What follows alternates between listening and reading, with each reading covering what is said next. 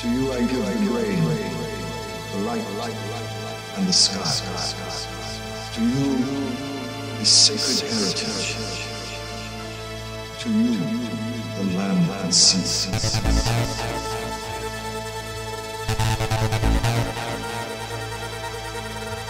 Thank